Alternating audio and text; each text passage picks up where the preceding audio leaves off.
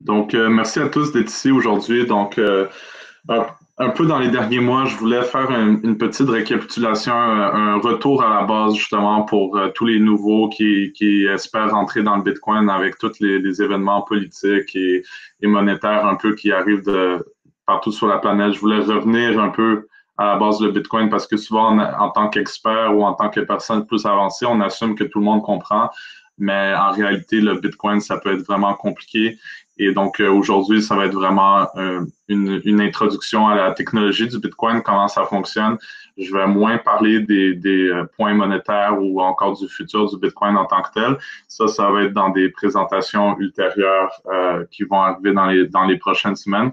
D'ailleurs, je vais en parler un peu par la suite. Donc, aujourd'hui, c'est vraiment comprendre la technologie. C'est sûr que je ne vais pas rentrer dans tous les détails parce que je veux que tout le monde comprenne ce qui est le plus important à comprendre. Et euh, j'espère que vous allez apprendre des choses aujourd'hui, puis ça va vous donner le goût d'en prendre encore plus dans, le futur. Donc, euh, mon nom, c'est euh. Dans le fond, moi, je travaille dans une compagnie qui s'appelle Verify. On est basé ici à Montréal, au Québec. Et on est une compagnie de consultation, mais on a, également un service en, phase bêta de, de, de, vente de Bitcoin. Donc, pour tous ceux, par exemple, qui sont déjà intéressés à l'achat, euh, et qui voudraient procéder puis savoir comment tout euh, gérer ça, ben nous, on fait ce, ce genre de mandat et on, on, se dessert déjà beaucoup de clients dans, ce domaine. Et on est également les organisateurs de Bitcoin Montréal, donc un groupe euh, d'enthousiastes de plein de compagnies, de, aussi de, des débutants, des, des experts à Montréal, mais également euh, un peu partout au Québec. On fait des meet-ups, etc. Donc, euh, n'hésitez pas à, me contacter si vous avez des idées d'organiser quelque chose ou peu importe donc, euh, on est là pour ça. Donc, euh, sûrement que si vous assistez à la présentation aujourd'hui, c'est que justement, vous, commencez à vous intéresser au Bitcoin peut-être. Et euh, je sais que certains d'entre vous sont déjà plus avancés parce que je, vous connais personnellement. Donc, cette présentation, c'est sûr qu'elle va être assez simplistique. Ça ne va pas aller trop loin dans, dans la technologie. Mais un peu comme tous, en tant qu'investisseur averti, avant d'investir dans quelque chose, ben, vous voulez savoir est-ce que comment ça marche euh, plus ou moins? C'est sûr que c'est impossible de savoir exactement comment tout fonctionne parce que le Bitcoin, il y a beaucoup de notions de mathématiques, de cryptographie, et il y a pratiquement personne qui est capable d'appréhender tous euh, les concepts en même temps.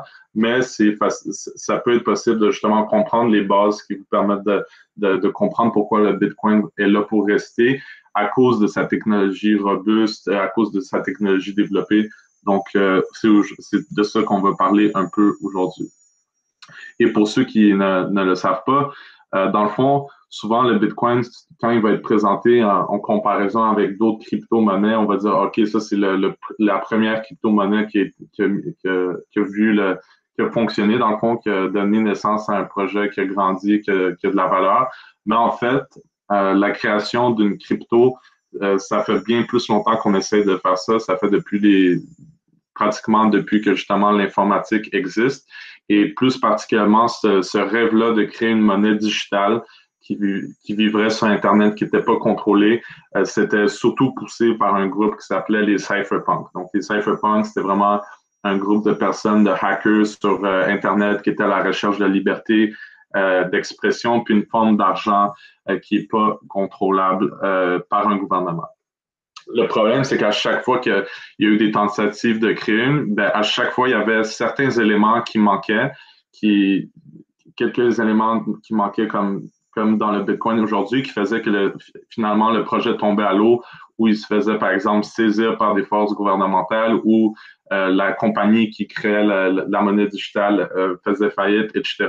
Donc, il manquait à chaque fois quelque chose, un élément euh, technologique qui faisait en sorte qu'il y avait vraiment une monnaie qui vivrait sur Internet. Donc, c'est quoi Bitcoin? En une ligne, selon moi, c'est vraiment un, un argent digital décentralisé, rare et non censurable. Tous ces points-là sont absolument très importants. Moi, je trouve que, par exemple, le fait que la non-censurabilité du Bitcoin est un des points les plus importants parce que sinon, on se retrouve à utiliser les mêmes, un même un système euh, monétaire semblable à celui qu'on a aujourd'hui avec les banques. Par exemple, si vous avez de l'argent à la banque aujourd'hui, ben, vous n'êtes pas euh, cet argent-là est potentiellement censurable. La banque a le droit de, vous dire, ah ben, essaies de faire une transaction, on n'est pas trop d'accord avec ce que tu fais, on va bloquer la transaction. Donc, avec le Bitcoin, ça, c'est quelque chose d'impossible grâce à la technologie. Donc, euh, en fait, c'était quoi le gros challenge euh, du Bitcoin? C'est que, en fait, euh, tout élément informatique qui se retrouve dans toute information, c'est du texte. Donc, du texte qui peut être facilement reproductible à l'infini. Et le problème avec ça, c'est qu'une fois que vous pouvez reproduire quelque chose à l'infini, ben, c'est pas une propriété, par exemple, que vous rechercherez dans un argent. Parce que si, quelqu'un est capable de reproduire un texte informatique comme il le ferait avec de l'argent, ben, cet argent-là, on peut présumer que rapidement, il va perdre la valeur parce qu'il il s'en crée à l'infini. Là, je fais une petite animation juste pour illustrer le tout c'est juste du copier-coller. Donc, euh, on peut faire ça des millions de fois puis arriver vraiment à une multiplication très rapidement de tout ce qui est informatique. C'est vraiment ça qui définit euh, l'informatique, c'est qu'il y a de plus en plus d'informations sous forme de, de, de, de d'images, de vidéos, et ça n'arrête pas, mais pour avoir un argent qui est justement digital, puis qui n'est est pas reproductible, ben, il faut avoir un système pour le gérer c'est quoi dans le fond qu'on a besoin? On a besoin, dans le fond, un espèce de, de, grand livre comptable qui tient les comptes de, de, chacun des usagers dans ce système-là, qui lui permettrait de savoir, par exemple, qui a combien de Bitcoin et, s'assurer que quelqu'un, par exemple, n'essaie pas de multiplier ses Bitcoins d'une façon ou d'une autre, puis, puis de cette façon-là détruire un peu le système à la longue.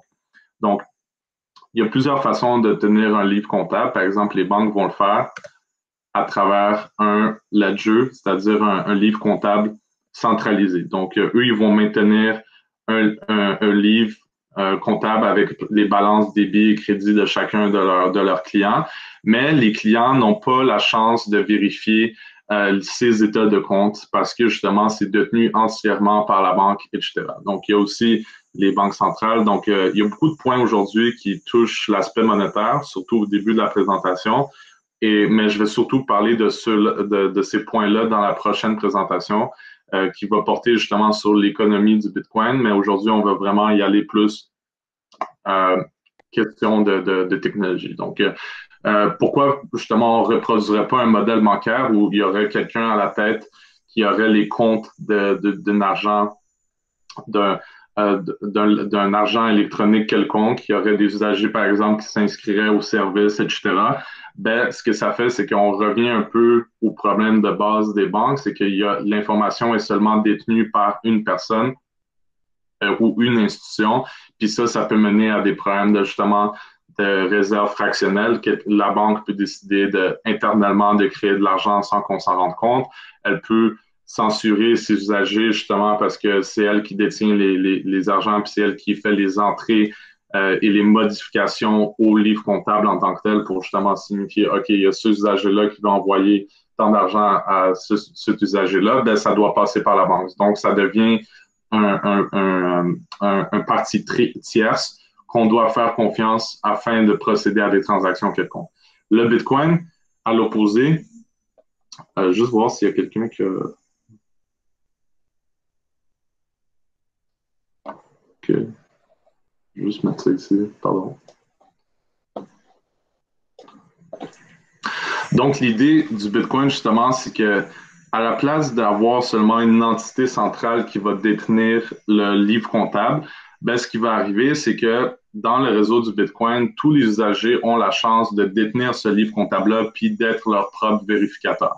Puis c'est là d'où tout le pouvoir de la non-censurabilité euh, provient, c'est que justement, chacun est son propre auditeur et chacun peut auditer l'autre. Donc, si quelqu'un essaie de tricher, comme vous le voyez ici, chacun a une copie. Donc, ça va être très difficile de tricher d'une quelconque façon parce que c'est très facile de vérifier que quelqu'un est en train d'agir malicieusement dans le système. Donc, euh, donc euh, là, on comprend qu'il faut justement l'espèce de livre comptable.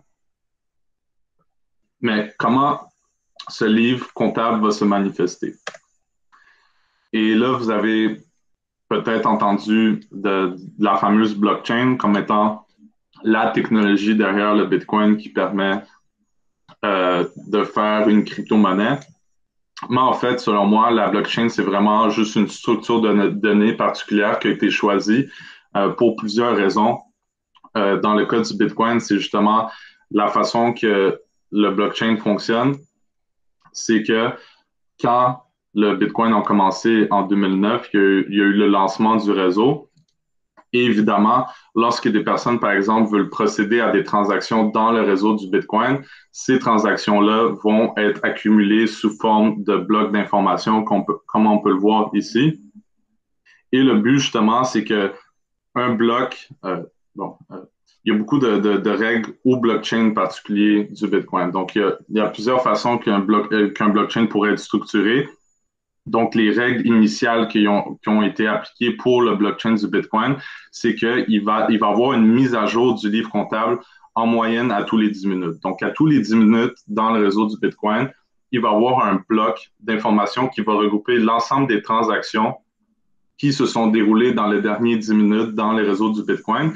Puis ça, c'est comme à chaque fois qu'un bloc est résolu, qui est fini, et on va en parler plus tard comment le processus fonctionne, ben, il y a une mise à jour complète du ledger, du ledger qui est le livre comptable, et le livre comptable, toute la mise à jour est répandue à travers le, réseau et tout le monde se met d'accord et on procède à la prochaine euh, à la prochaine batch de transactions, à la prochaine mise à jour. Donc ça, c'est un processus qui arrive de, depuis absolument le début du Bitcoin et c'est ça, dans le fond, qui fait qu'on puisse, on puisse, tout le monde peut transiger sur le réseau. Quelques informations très importantes. C'est quoi, par exemple, qui limite le, fait que le, Bitcoin peut faire un certain nombre de transactions par seconde?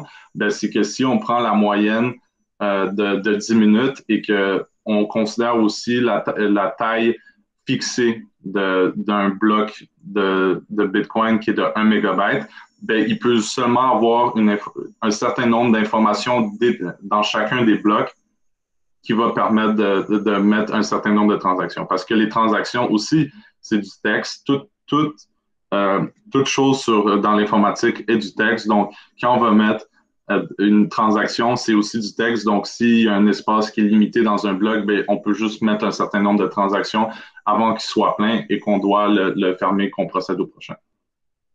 Et la, la beauté de, de, de, la structure de données d'un blockchain, c'est que justement, euh, on ne va pas justement rentrer dans les détails parce que ça dépasse un peu euh, le niveau débutant aujourd'hui, c'est qu'elles sont euh, tous les blocs sont liés de manière cryptographique. C'est-à-dire que si il y a du monde qui font des transactions dans le bloc 1, et bon, tout se passe bien, on finit, on passe au prochain bloc, il y a des transactions qui se font, ben ça, ça devient le grand livre comptable du Bitcoin. Mais si quelqu'un, par exemple, essaie de vous mentir par rapport à une transaction euh, qui s'est passée dans le bloc 1, ce que ça va faire, c'est que les signatures dites cryptographiques ou électroniques qui vont être issues de, chacun des blocs singuliers vont être changées. Donc, à partir ce moment que quelqu'un change une quelconque information dans un bloc, que ce soit une transaction ou d'autres types d'informations, ben, ça va complètement signaler que parce que la signature va plus être valide.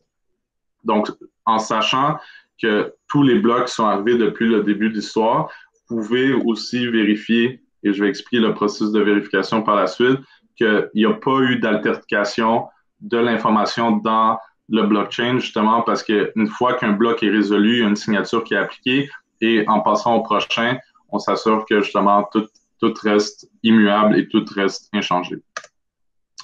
Donc, euh, le, problème, c'est justement, c'est que à qui on réserve le droit de, fermer des blocs, à qui on, donne le droit de, de, décider de, bon, on passe au prochain bloc? Ça, c'est une responsabilité que justement, dans une banque, ben, là, c'est la banque qui va autoriser un quelconque euh, changement dans le livre de compte. Euh, ou, justement un employé de la banque, de la banque qui a ce genre d'autorisation. Mais justement, dans un système qu'on veut décentraliser, à qui comment on peut vraiment donner le, pouvoir à quelqu'un ou une entité ou peu importe euh, de, faire ces changements, c'est un grand pouvoir parce que là, tu changes un, livre comptable immense qui est celui du Bitcoin. Mais là, on a réalisé que en réalité, on peut pas assigner ce droit-là de manière euh, spécifique. Donc, on peut pas dire, ah, toi, en tant qu'entité, ou toi, en tant qu'individu, tu as le droit de changer les blocs. Fait que ce qu'on va faire, c'est qu'on va faire une loterie là, vous allez être confus un peu. Mais inquiétez-vous pas, vous allez comprendre le, concept. Donc, le droit, justement, il n'y a pas de droit qui est réservé à personne. Tout le monde, en effet, peut participer à la validation des blocs là, on s'imagine, euh, disons, imaginez-vous en 2009, justement, quand le Bitcoin a été lancé, euh, il y avait très peu d'usagers au début. Maintenant, c'est dans les dizaines de millions. Mais au début, il y avait initialement seulement Satoshi, qui est l'inventeur du Bitcoin, et des développeurs euh, enthousiastes par rapport à ça, qui, participaient au réseau en, en, sachant vraiment pour le fun, pour le rêve cypherpunk, mais le Bitcoin n'avait même pas de valeur en tant que tel rendu là. Donc, on imagine un réseau vraiment embryonnaire du Bitcoin avec euh, Léo, Bob et Alice. Et ça donne que eux, par exemple, euh, dans un espace-temps de 10 minutes, euh, il y a Léo qui veut envoyer 0.5 Bitcoin à Alice et la deuxième transaction qui veut être envoyée de Alice à Bob de 0.2 Bitcoin. Donc, ces transactions-là doivent se faire inclure dans un bloc afin d'être validées puis être inscrites dans le grand livre comptable qui est celui du blockchain. Et en attendant que justement un bloc soit résolu, ce qui va arriver, c'est que les transactions vont aller dans quelque chose qui s'appelle le mempool. Et c'est un peu un détail, mais le, nom particulier, mais il y a évidemment plus de complexité technologique par rapport à ça. Mais c'est que les transactions vont être en attente en attendant qu'un mineur gagne quoi? Qu'un mineur gagne en fait une loterie. la prochaine diapositive, c'est exactement ça que je vais parler. Et là, j'introduis un nouveau concept qui sont celui des mineurs par rapport aux usagers réguliers euh, qui pourraient être moi ou n'importe qui d'entre vous qui font une simple transaction. Fait que là, il y a deux processus qui sont en train de se dérouler ici. Il y a le processus des usagers qui font simplement des transactions entre eux-mêmes et que ces transactions-là vont dans un, espèce d'espace, euh, le même pool en attendant la résolution d'un bloc. Et ici, ce qui est en train d'arriver, ça, c'est des mineurs sont en train, en fait, de faire une espèce de loterie. Puis une fois qu'il y a un gagnant de ces mineurs-là qui fait une qui, qui, est gagnant de la loterie, ben, il y a la chance d'inscrire le prochain bloc dans le blockchain du Bitcoin avec les transactions incluses de Alice et de Léo. Donc, on va expliquer le processus de, loterie. Dans le fond, c'est comme ça qu'on a décidé de, faire, ben, que Satoshi a décidé de faire le Bitcoin parce qu'il s'est dit, impossible que j'alloue le droit individuel ou singulier à quelqu'un d'inscrire des changements. Fait la façon que ça va procéder, on va faire une loterie. Évidemment, euh, c'est une analogie. La loterie aujourd'hui présentée, c'est une analogie à la preuve de travail. La preuve de travail, c'est quelque chose de très important dans le Bitcoin. Et euh, vous l'avez peut-être entendu sous forme de proof of work. Et euh, ça, c'est vraiment quelque chose qui, est révolutionnaire dans ce cas-ci parce que ça permet euh, de, sorte que le monde ne triche pas dans le réseau. Donc, ce qu'on veut éviter, justement, c'est que si quelqu'un essaye d'inscrire un nouveau bloc dans le réseau, ben, que ça soit, ça soit difficile pour lui parce que pour éviter de, justement que quelqu'un essaye de juste spam le, réseau du Bitcoin avec des faux blocs ou avec des blocs frauduleux. Euh, ce qu'on a décidé, c'est qu'on leur dit, ben, OK, vous avez le droit de, de, de, mettre un bloc valide, mais vous devez répondre à une, à une réponse mathématique, une question, et c'est seulement quand vous trouvez la réponse à cette question que vous pouvez inscrire le bloc. Et en fait, la réponse, c'est pas une question de logique ou peu importe, c'est tout simplement du SRA. Donc, euh, l'analogie que j'aime bien faire, mais qui n'est pas totalement valide d'un point de vue euh, euh, technologique, si on rentre dans les détails, c'est que imaginez qu'il y a deux mineurs en, ce moment dans le réseau du Bitcoin, puis chacun d'entre eux, puis en fait, le problème qui leur est présenté, c'est que chacun d'entre eux a un dé à 10 faces et ils doivent obtenir un 1. Tout autre chiffre autre que 1, euh, ben, pas la bonne réponse, puis, euh, puis ils doivent réessayer. Puis le, truc, c'est que ben, une fois qu'ils ont un, ben, si l'un d'entre eux a un avant l'autre, ben, c'est très facile pour lui de prouver que justement il a la bonne réponse parce qu'il dit regarde mon dé, ben, c'est un, on passe au prochain bloc, on, on recommence le problème. Et en ce moment, on, peut se dire pour la simplicité qu'un mineur a la capacité d'environ faire un essai par minute. Donc, ce qui va arriver, c'est qu'on va commencer la loterie ou le lancer des dés, dans le fond. Et au premier essai, le premier mineur obtient 3, donc il n'a pas répondu à la bonne question. Le, mineur 2 obtient 3 aussi, il n'a pas répondu à la deuxième question. OK, on passe au prochain essai. Et là, vous vous rappelez, on fait un essai par minute. Donc, le, le 1 essai ici, euh, c'est la première minute. Le, deuxième essai ici, c'est la deuxième minute. Troisième essai, encore pas réussi. Quatrième essai, encore pas réussi. Cinquième essai, ah, le mineur 2 a trouvé la bonne réponse. Et là, logiquement, tantôt, je vous ai dit que les, blocs se ferment environ à tous les 10 minutes dans le réseau du Bitcoin et c'est grâce à, un, autre, euh, un autre élément technologique qui est le réajustement de difficulté. Parce qu'imaginez-vous que justement, le, Bitcoin commence à grandir, puis là, les mineurs, ben, à la place d'avoir juste deux mineurs, il y a deux autres mineurs qui veulent jouer à la loterie aussi, parce qu'ils disent, OK, nous aussi, on veut essayer. Fait que là, on est rendu que il y a quatre essais qui se font à la minute. Donc, après environ deux minutes et demie, il y a des fortes chances que la bonne réponse soit trouvée parce qu'il y a deux fois plus dans, le fond d'essais qui se font trouver. Parce qu'ici, si, si, vous vous rappelez, ben ça, c'est une minute chacun. Fait qu'avec les forces combinées des deux mineurs, on fait à peu près deux essais par minute. Donc, euh, on vise un, euh, un objectif de, de, de 10 minutes par bloc. Donc, après, ça devrait être trouvé assez facilement. Et là, ensuite, les mineurs vont trouver la réponse plus rapidement parce qu'ils sont plus. Mais là, justement, le bloc va se faire résoudre plus vite, ça veut dire. Fait que là, il y a un autre concept qui rentre dans la, dans la preuve de travail, c'est le réajustement de difficulté. Fait que là, vu que le, réseau va détecter que la réponse se fait trouver plus vite, mais on veut quand même conserver le temps moyen de 10 minutes pour la résolution des blocs, ce qui va arriver, c'est qu'on va augmenter la difficulté du problème. Donc, euh, par exemple, on peut dire, à la place d'avoir, et justement, cette analogie euh, est un peu fausse dans le sens que c'est pas exactement comme, comme ça que ça se passe, mais justement, vu que, par exemple, deux fois plus de mineurs, ben, on va augmenter les chances, euh, on va augmenter le nombre de phases de dés, comme ça, ça va prendre plus de lancers avant de trouver la réponse, en moyenne. Et c'est ça, dans le fond, qui, démontre que les mineurs en tant que tels, ils font du travail parce que la seule façon qu'ils peuvent résoudre le problème, c'est en fait en faisant des essais-erreurs. Et c'est tout ce que les mineurs font. Souvent, peut-être dans d'autres présentations de débutants, ce qu'on va dire, c'est que les mineurs traitent les transactions, ils les vérifient ou quelque chose. C'est absolument faux. Tout ce que les mineurs font, c'est trouver la réponse valide d'un certain bloc pour passer au prochain bloc. Et en fait, euh, quand je, parlais du lancer des dés, si on, prend vraiment le, vrai terme euh, qui est utilisé dans le Bitcoin, mais que j'ai euh, tout, simplement, voulu simplifier pour comprendre, c'est que chaque lancer de dés, dans le fond, c'est un hash. Un hash, c'est une fonction mathématique qui fait en sorte que suite à une entrée d'un certain texte ou n'importe quelle information, il y a un mixing d'informations qui se fait d'une manière spécifique qui donne un hash, euh, qui, donne un hash particulier.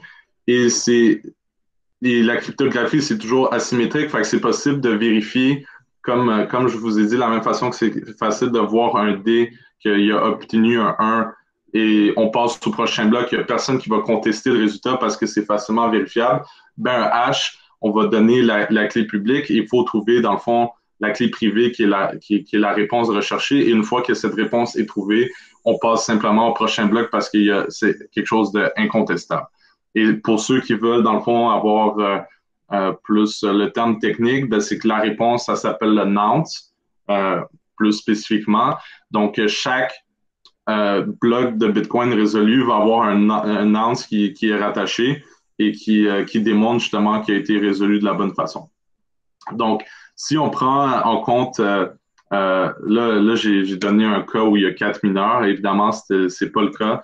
Il y a des, il y a des millions euh, de, de, mineurs en tant que tels. Et, et, et juste revenir ici rapidement, c'est que non seulement il peut y avoir des mineurs qui se rajoutent, mais il peut avoir aussi les mineurs qui deviennent de plus en plus efficaces. Donc, ils augmentent leur nombre de, de, d'essais par minute, par exemple, possible, qui leur permet de encore plus faire des erreurs. Donc, à chaque, à chaque potentiel changement dans la force de calcul du réseau, il y a un ajustement qui se fait et cet ajustement-là se fait environ à toutes les deux semaines. Donc, c'est quelque chose qui arrive depuis le début du Bitcoin. Et à chaque fois, par exemple, qu'il y a des, des nouveaux ordinateurs qui sont encore de plus en plus efficaces, ben, la difficulté du problème augmente depuis toujours. Et là, j'ai mis un graphe euh, simple pour illustrer à quel point il y a une force incroyable déployée de calcul dans le Bitcoin et qui protège dans le fond le réseau euh, d'une certaine façon que je vais expliquer bientôt. Donc, euh, juste pour vous donner une idée, c'est sûr que c'est tellement des gros chiffres, on n'entend jamais parler de ce genre de chiffres. Il y a 136,86 quintillions de hash par seconde qui se font en ce moment sur le Bitcoin. Donc, euh, si on divise ce nombre de hash par l'efficacité de la machine la plus répandue, qui est le S9, on obtient un résultat d'environ de 10 millions de machines singulières de, mining qui ressemblent à ça, qui protègent le réseau. Et en fait, si par exemple, et à chaque fois que quelqu'un trouve la réponse, on va avoir dans le fond la confirmation qu'il a dû passer à travers cette difficulté de trouver la réponse, de toujours faire les, espèces de lancers de dés cryptographiques. Et si par exemple quelqu'un voudrait réécrire le blockchain que j'ai mentionné ici, il serait obligé de, refaire la preuve de travail de tous les blocs précédents afin de proposer quelque chose, euh, une nouvelle inscription au livre comptable du Bitcoin. Donc, à chaque fois que justement le, réseau du Bitcoin augmente en, force, ça devient de plus en plus difficile de changer quelconque information du passé et c'est pratiquement impossible vu que justement il y a toujours des nouveaux blocs qui sont rajoutés et la plupart des mineurs sont incentivisés simplement à agir de bonne foi pour une raison que vous allez comprendre très bientôt. Donc, on a parlé de preuve de travail dans un, dans un, dans un système qui est, qui est juste. Le travail euh, devait être rémunéré. Et c'est justement euh, comme ça que pourquoi les mineurs existent, pourquoi les mineurs font des opérations de mining, c'est qu'en fait, pour le travail de, de, qu'ils font euh, sous forme de sécurisation du réseau, ben, ils reçoivent du protocole même une certaine récompense. Et c'est aussi comme ça qu'on découvre une, une, autre règle très importante du Bitcoin qui est, qui est, celle de la limite de 21 millions de Bitcoin qui va, qui va exister dans le réseau, dans le réseau euh, toujours. Euh, euh, puis ça, c'est quelque chose d'incontestable. Donc, vous avez sûrement déjà entendu parler justement le Bitcoin a 21 millions, mais vous n'avez peut-être pas compris exactement comment ces Bitcoins arrivent dans le réseau. Donc, c'est très simple. En 2009, justement, quand Satoshi a lancé le réseau, pour chaque bloc résolu, il y avait environ 50 bitcoins qui étaient offerts aux miners qui trouvaient le bloc euh, qui lui permettait de faire l'entrée au ledger. Le truc, c'est que justement, en 2009, 50 bitcoins, aujourd'hui, ça vaut extrêmement cher, plus qu'un un, demi-million de dollars. mais à l'époque, ça valait absolument rien. C'était comme des, petits petite récompense, un petit fun entre, les codeurs, euh, entre les codeurs, puis il aimait bien ça, transiger des trucs euh, de cette façon-là. Le truc qui a été aussi, qui est une autre règle du Bitcoin, dans le fond, c'est que à tous les deux, 210 000 blocs, il, y a une réduction de moitié de cette récompense. Donc, euh, au début, c'était 50 bitcoins, puis 210 000 blocs, c'est environ à tous les quatre ans. Donc, après, 5 après 4 ans, euh, le 50 Bitcoin est devenu 25. Après un autre 4 ans, c'est devenu 12,5. Euh, Et maintenant, nous, on est rendu à la quatrième époque. Donc, on est rendu à 6,25 Bitcoin. Et c'est comme ça que, tranquillement, pas vite, comme vous pouvez voir ici, on va arriver à, à, à, à 21, 21 un million de Bitcoin. Et ça, euh, le dernier Bitcoin miné va être miné en 2140. Donc, il reste un bout avant que ça arrive. Mais comme vous pouvez le constater, on est déjà rendu en 2020 ici. On est rendu à plus que 18 millions de Bitcoin. Puis en 2035, 2040, 99,9% des Bitcoins euh, risquent d'être déjà, euh, ben, vont être minés. Donc, donc les bitcoins arrivent rapidement dans le réseau, il y a une récompense qui est très accentuée au début pour euh, justement incentiviser les mineurs à rentrer, à, commencer à, construire le réseau. Et euh, aujourd'hui, il, y a des mines de, mineurs incroyables qui sont déployées partout à travers la planète.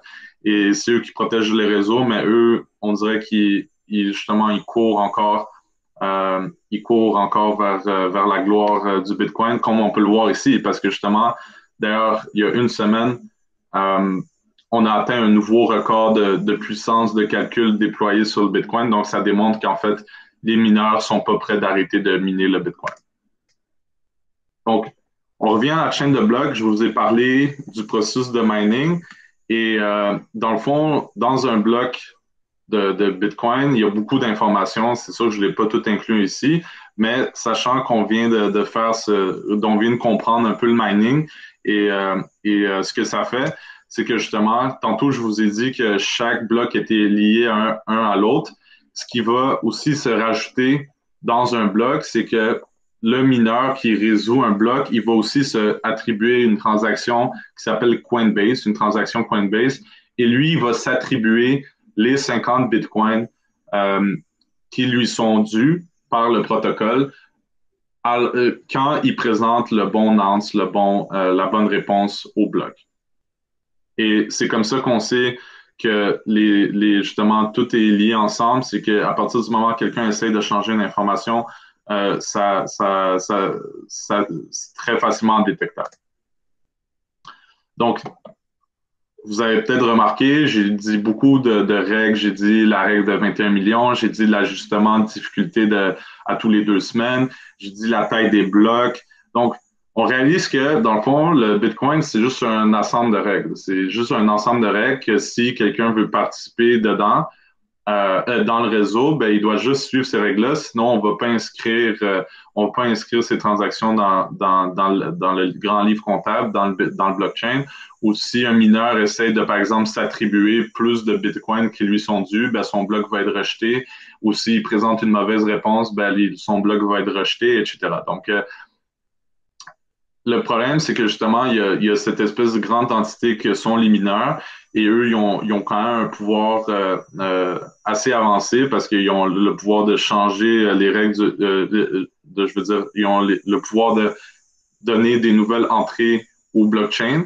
Et comment on fait pour balancer un peu ce grand pouvoir-là en tant qu'usager régulier? Parce que c'est sûr qu'au début, euh, le mining, ça pouvait être fait avec des ordinateurs réguliers parce qu'il n'y avait pas une grande, il y avait pas une grande difficulté, il n'y avait pas un, beaucoup de, de, personnes qui minaient.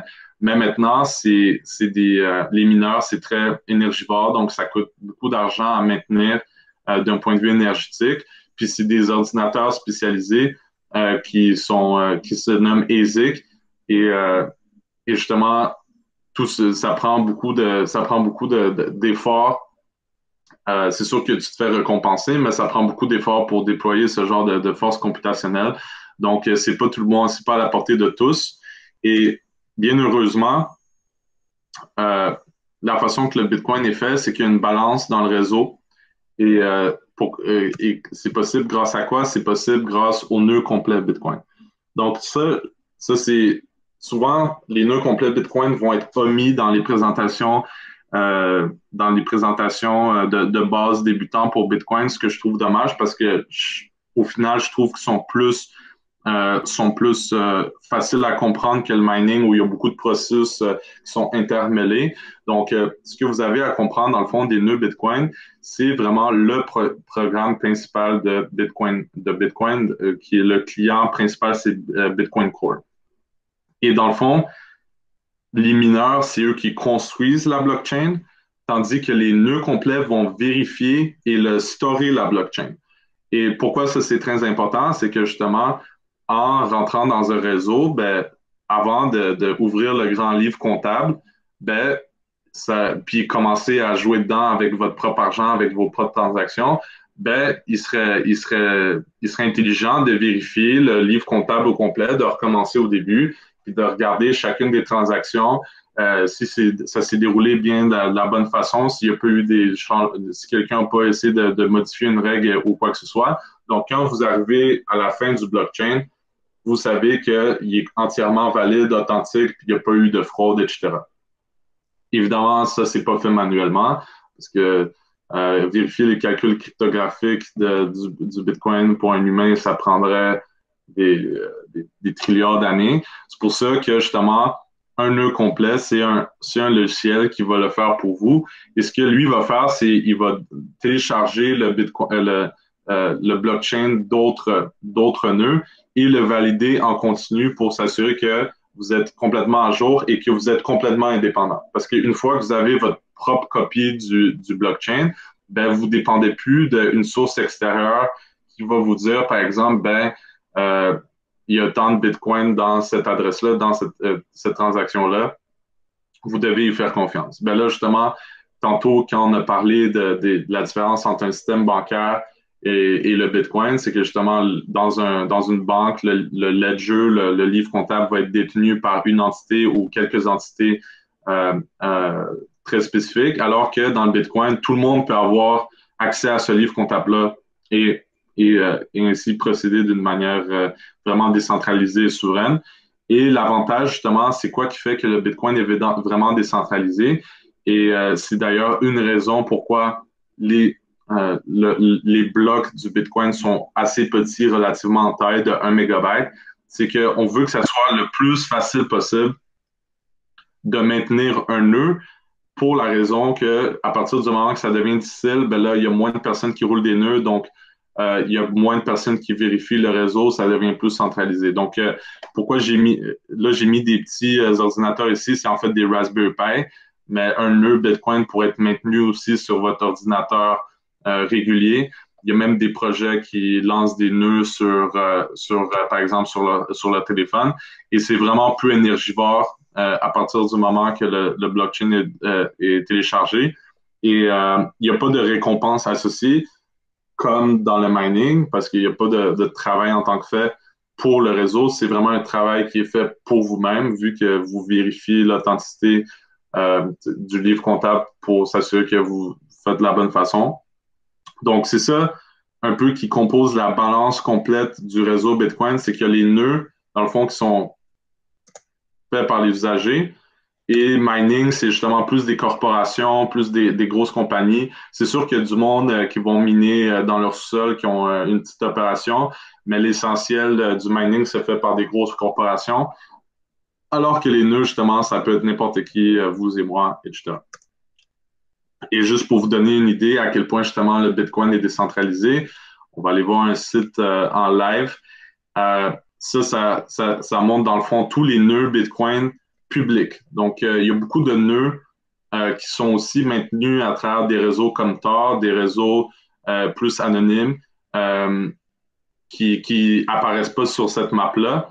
mais juste sur cette map-là, si on voit euh, si on voit le chiffre ici, c'est assez impressionnant. Il y a environ 10 000 euh, nœuds, 10 euh, 500 nœuds qui sont en train de rouler en ce moment, de, valider le blockchain, d'être complètement indépendant.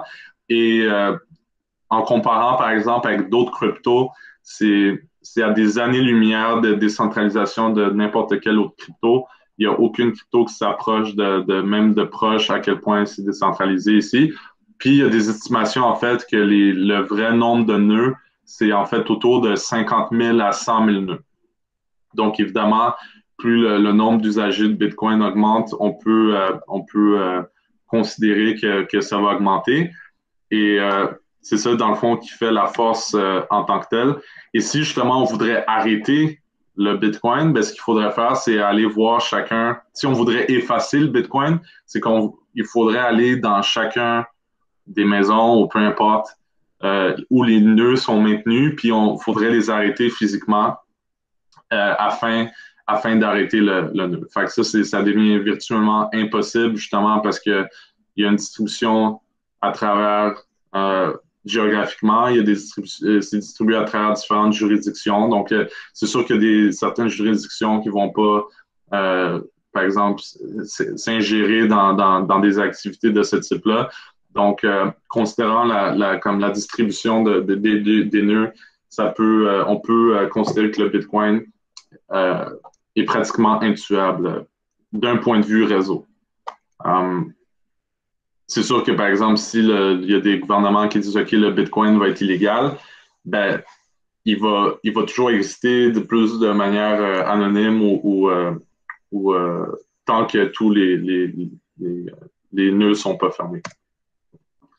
Donc, aujourd'hui, on a, on a parlé vraiment de comment Bitcoin fonctionne. Donc, si je peux récapituler vite, vite, le réseau Bitcoin est composé de nœuds, de paires euh, qui communiquent entre eux, qui détiennent le ledger.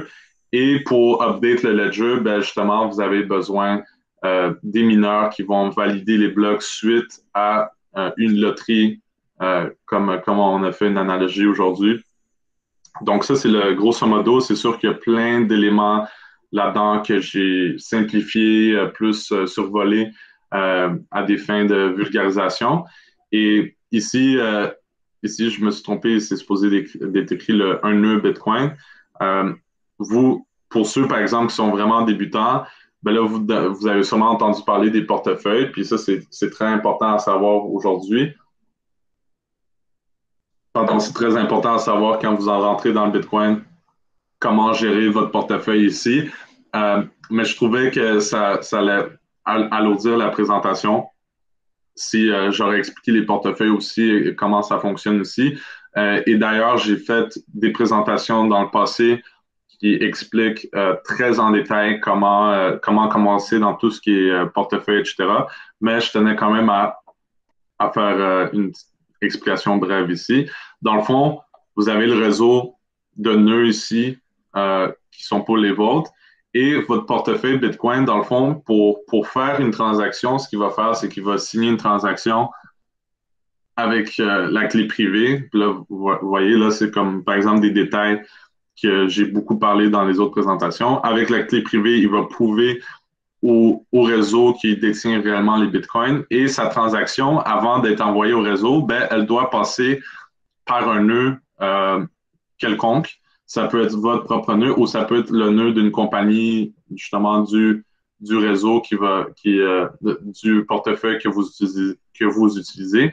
Et cette transaction euh, va être vérifiée par le nœud et euh, elle est déjà valide quand elle est proposée au même pôle, ou dans le fond, l'espace, le, le, les transactions là où elles sont mises en attente, le même pool, elles sont déjà valides. Donc, tu sais, quand tantôt j'ai dit les miners ne valident pas les transactions, ils font juste valider le bloc.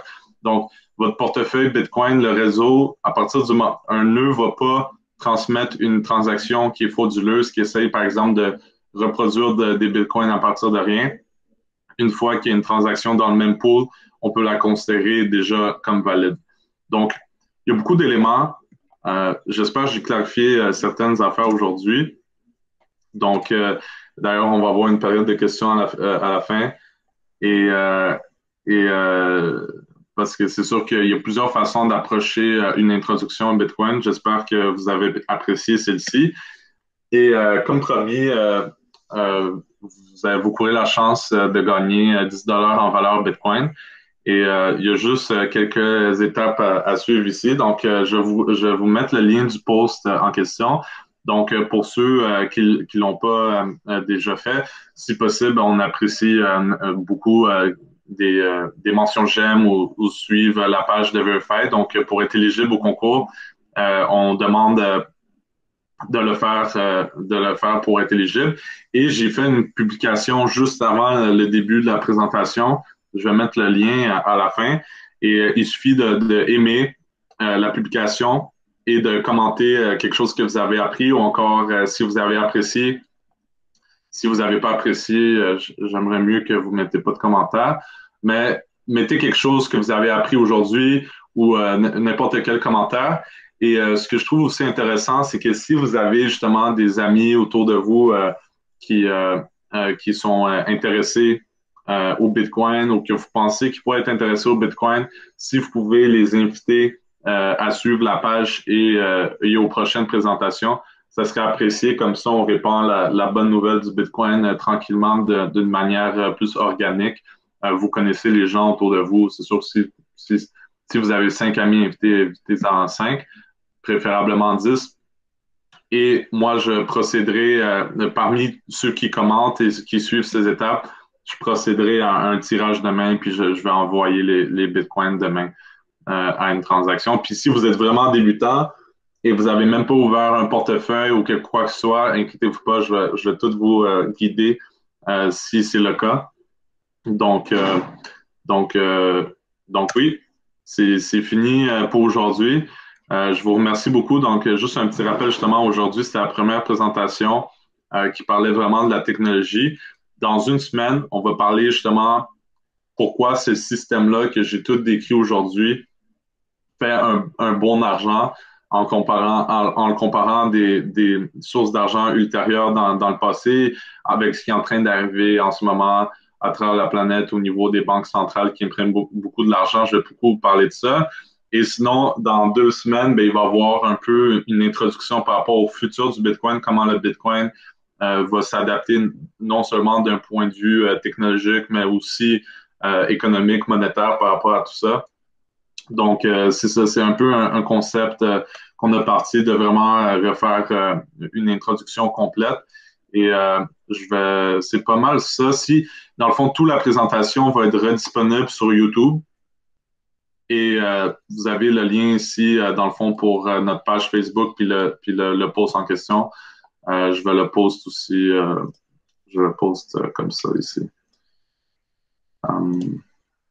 je peux-tu?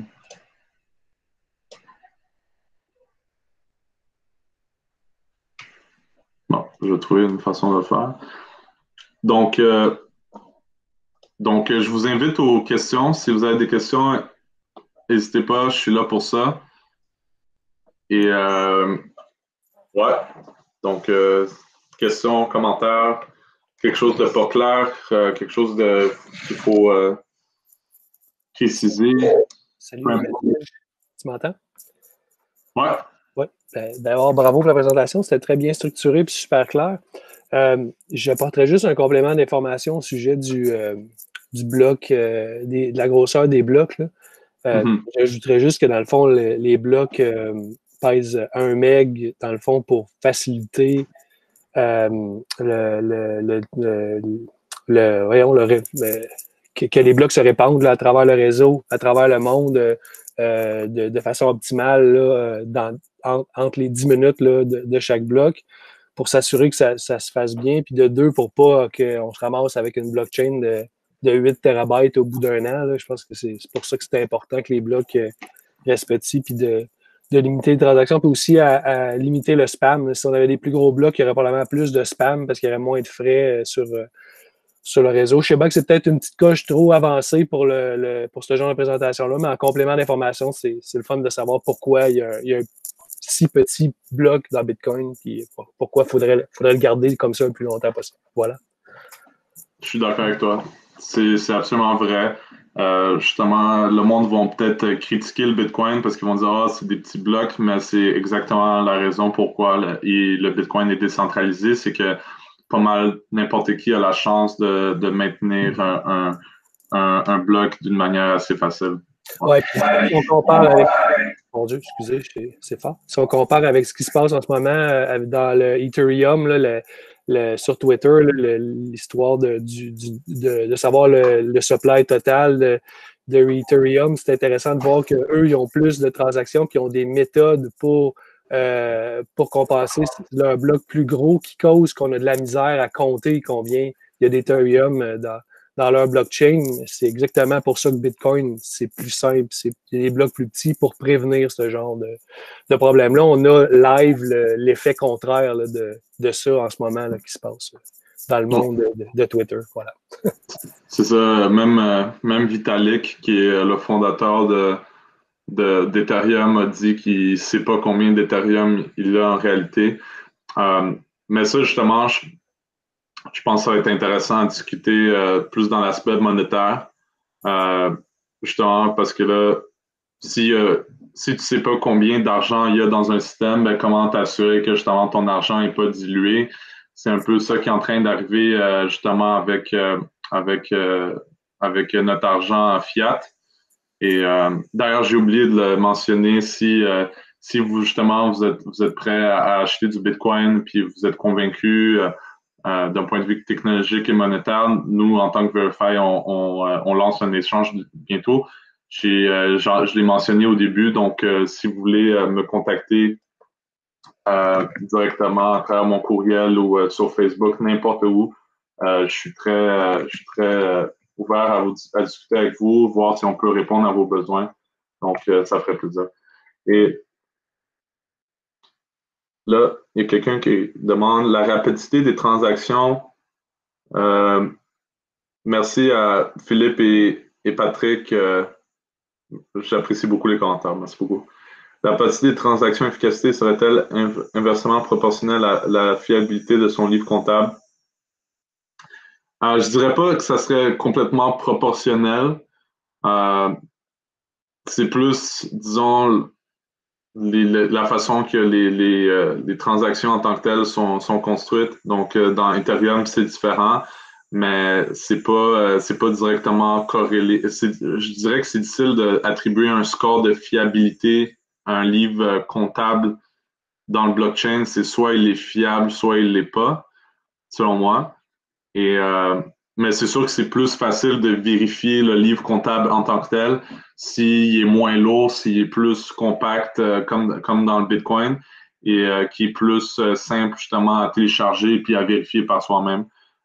donc, je dirais pas que c'est inversement proportionnel, mais je veux dire, mais, mais c'est quand même une, bonne question. C'est en fait, ouais, c'est une bonne question. Ben, si tu me permets, moi, je dirais que c'est un, range. Il y a une limite que tu ne peux pas dépasser en termes de poids, tout simplement à cause des capacités du réseau Internet mondial.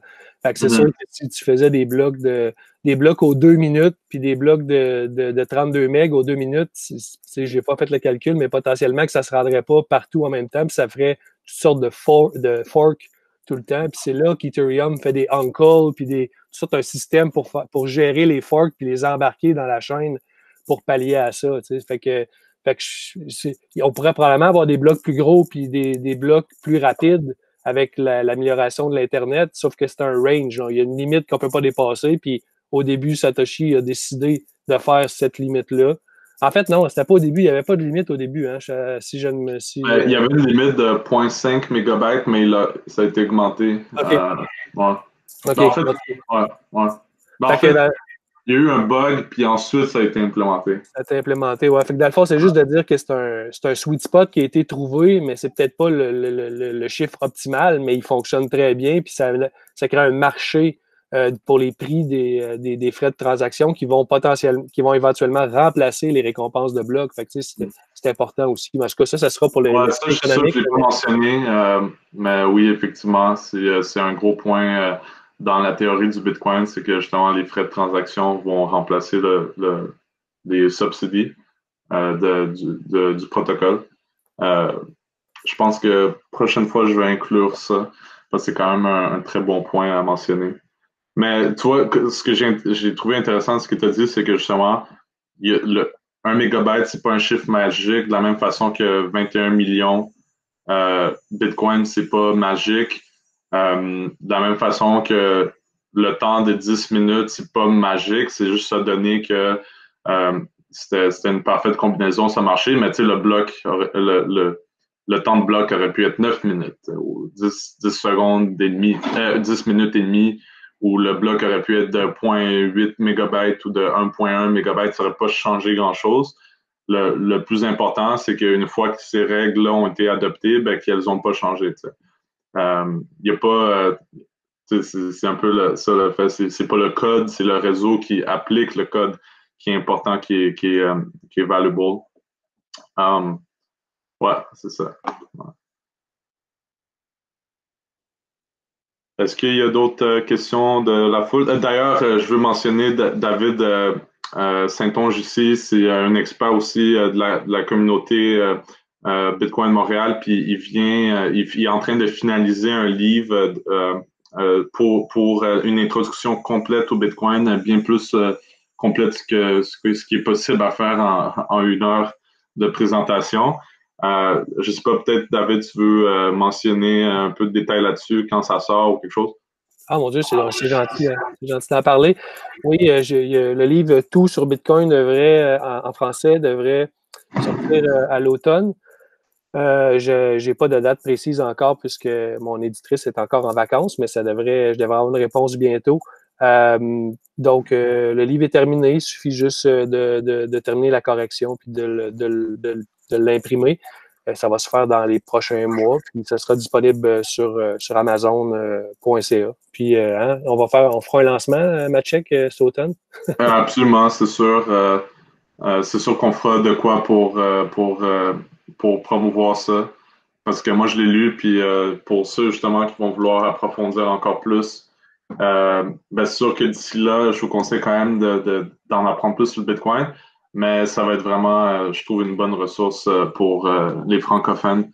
tes, trois webinaires sont, tout à fait dans l'optique du livre. je pense que les deux ensemble, ça, va être ça va donner une, base parfaite de comprendre Bitcoin. Fait qu'une fois, après avoir écouté tous tes trois webinaires puis lire le livre, je pense que la personne va avoir une, compréhension là, à tout le moins presque égale à la mienne.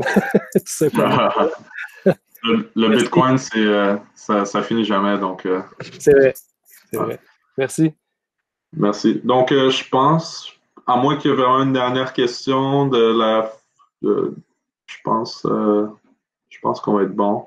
Donc, comme j'ai dit, pour si vous avez des questions supplémentaires ou peu importe, faites juste me contacter et, en espérant que vous participez au concours et bonne chance pour gagner euh, les bitcoins en question. Donc, euh, merci à tous d'être, euh, d'avoir participé.